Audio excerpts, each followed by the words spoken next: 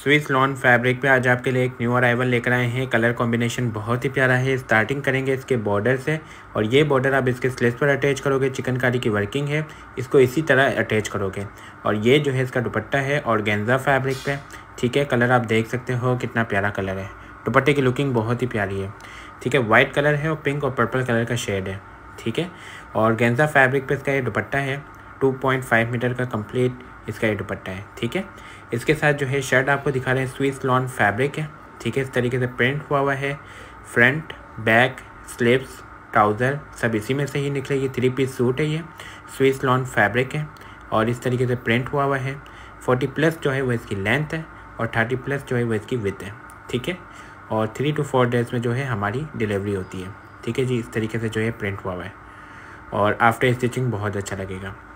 ठीक है? Article complete thank you